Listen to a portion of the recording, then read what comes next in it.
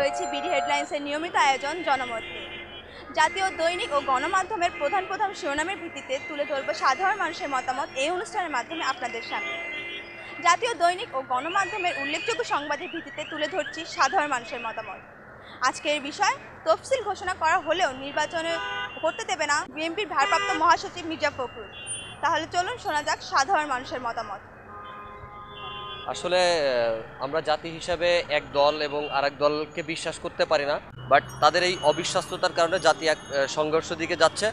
তো আমি হচ্ছে বিএনপির হচ্ছে ভারপ্রাপ্ত মহাসচিব মির্জা ফখরুল ইসলামকে মানে বিনীতভাবে নিবেদন করতেছে এই যে, তারা অ্যাটলিস্ট বিশ্বস্ততার সাথে আওয়ামী লীগ যে তফসিল- ঘোষণা করতেছে, এই নির্বাচনে অংশগ্রহণ করে জাতিকে একটা সংঘর্ষের দিক থেকে মুক্ত করার জন্য। থ্যাংক ইউ জোরাকি জোরাকিভাবে এইভাবে সরকারের এইভাবে নির্বাচন দেওয়া ঠিক না। জনগণ চায় তত্ত্বাবধানের সরকার। হ্যাঁ নাইনটি পার্সেন্ট লোকই চায় তত্ত্বাবধানের সরকার। এই জনগণ তো গাও জোরাকিভাবে ইলেকশন করতেছে এটা তো কোনো মতেই ঠিক না। আমি আমার আমার ব্যক্তিগত মত থেকে বলব যে দুই দলের মধ্যে একটা সমঝোতার মধ্যে এসে তারা যাতে নির্বাচনটা করে। আর আরেকটা কথা হচ্ছে যে তাদের এই সংঘর্ষটা সাধারণ মানুষকে প্রভাবিত হচ্ছে। আসলে বর্তমান যে প্রেক্ষাপট সেই প্রেক্ষাপটের প্রেক্ষিতে যেটা হচ্ছে তাতে আমরা সাধারণ মানুষ বেশি ভুক্তভোগী হচ্ছি ঠিক আছে? তো সেক্ষেত্রে আমার যে মতামত, সেটা বলব যে দুই নেত্রীর বা দুই দলেরই সমঝোতার মাধ্যমে একটা সুষ্ঠু নির্বাচন বা যাতে আমাদের দেশের কল্যাণে বা জনগণের কল্যাণে যে কাজটা করলে, যে পদক্ষেপটা নিলে ভালো হয় সেটাই করা উচিত। কারণ আমাদের এই ভোগান্তির ভিতর রাখলে বা রাখাটা হয়তোবা তাদের উচিত না, ঠিক আছে? তো সেক্ষেত্রে তাদের সমঝোতা অতি দ্রুত করে সুষ্ঠু নির্বাচনের মাধ্যমে একটা সমাধান টানাটাই আমি আশা করব তাদের কাছে। তফসিল ঘোষণা করলেও শেষ পর্যন্ত জনগণের দাবিতে সরকার বাধ্য হয়ে নির্বাচন বানচাল করতে বাধ্য হবে। বিরোধী দলে অংশগ্রহণ না করলে নির্বাচনটা সুষ্ঠু হবে না। অবশ্যই বিরোধী দলে অংশগ্রহণ করা উচিত। আমরা নির্বাচন চাই। ঠিক আছে?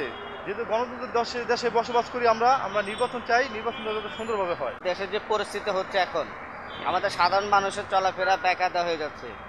তাই তফসিল ঘোষণাটা হওয়ার পরে যাতে বিএনপি মির্জা ফখরুল ইসলাম আলমগীর যাতে এমন কোনো ঘটনা না ঘটাবে এমন কোনো পরিস্থিতি না সৃষ্টি করে যেটা আমাদের জনসাধারণের জন্য একটা চরম দুর্ভাগ্য হয়ে পড়ে। আশা করি যে আমাদের রাষ্ট্রপতি জিলুর রহমান যে পদক্ষেপ দিয়েছে মাননীয় প্রধানমন্ত্রীর কাছে, ওই নিয়মটা চলে গেলে আমাদের মনে করি আমাদের দেশবাসীর জন্য একটা মঙ্গল বয়ান। একদল আরেক দলকে আমরা বিশ্বাসই করতে পারতেছি না। সেক্ষেত্রে তো সহিংসতা অনিবার্য। সে কারণেই আর আমরা সবাই চাই ক্ষমতায় বসে থাকতে। কারণ আমরা ক্ষমতাটাকে এমনভাবে পাকাপোক্ত করতে চাই যে আমি ক্ষমতা আসলে চিরতরে আমি ক্ষমতা নেব। সেকেন্ড পার্সন আমি কাউকে আর ক্ষমতা দিব না।